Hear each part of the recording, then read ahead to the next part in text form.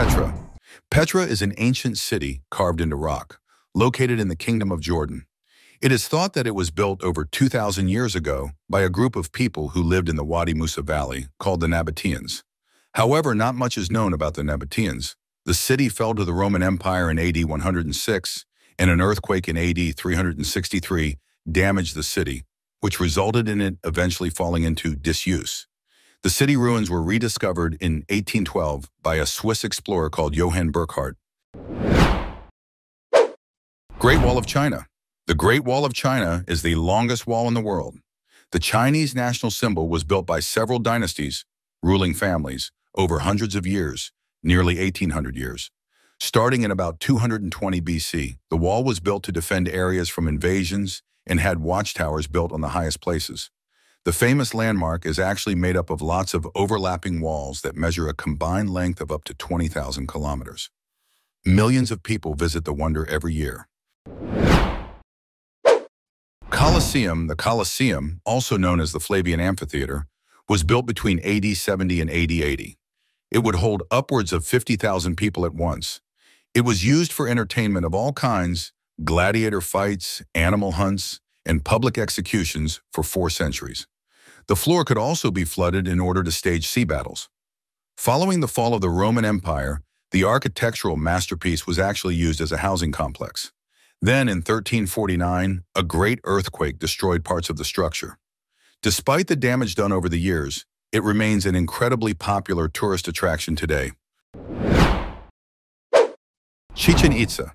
Chichen Itza isn't just one building or monument, but an entire ancient Mayan city found in the Yucatan Peninsula in Mexico. The city was constructed around 600 BCE and became important central to Mayan political and economic center at the time. You'll find the Temple of Kukulkan, named after the serpent deity, sometimes also referred to as El Castillo there. It has 91 steps on each of its four sides. An extra step was added at the top of the temple to total 365 steps, one for each day of the year. The top of the temple features a carving of Kukulkan. The large pyramid structures remain a draw for tourists who want to see the sights and honor Mayan heritage. Machu Picchu. Machu Picchu is the ruins of a city from the Incan Empire that was built in the 15th century and could have been used for government or religious services. The ruins became world famous after explorer Hiram Bingham spotted them with the help of local indigenous people. The ruins are in the Andes Mountains, over 2,000 meters above sea level. Its walls and other architectural elements are cut into the natural rock. Taj Mahal. The Taj Mahal was built by Mughal Emperor Shah Jahan in memory of his wife Mumtaz Mahal. This magnificent landmark took 16 years and 20,000 workers to build, starting from 1632 and was completed in 1648. The property spans some 42 acres, including its ornate gardens. Architecturally, the building represents symmetry and balance, and the color of the exterior marble walls change depending on the time of day. In the morning sun, the white marble looks a shade of pink. During the evening, it looks the color of milk and looks golden at night when lit by the moon.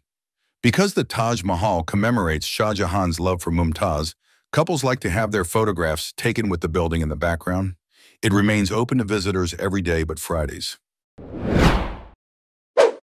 Christ the Redeemer. Christ the Redeemer stands tall above the Brazilian city of Rio de Janeiro on Corcovado Mountain. The statue shows Jesus Christ with his arms spread out over the city. The statue is 98 feet tall, to be exact, and its arms stretch 92 feet wide. Construction began on the massive statue in 1922 with the help of engineer Heitor da Silva Costa and sculptor Paul Landowski. It was completed in 1931. Millions of people make the trek to see it each year,